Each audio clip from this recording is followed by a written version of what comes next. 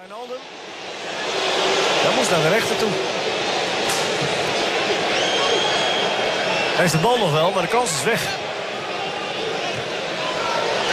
El Amadi achter de stand met langs en fraai ingetopt door Babovic. En zo zet Feyenoord in de laatste minuut nog wel een hele mooie punt.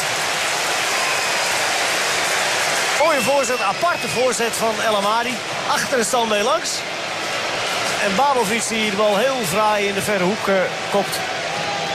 Feyenoord doet dus uiteindelijk wat het moet doen. Het betekent verder, het verslaat FC Den Bosch met 2-0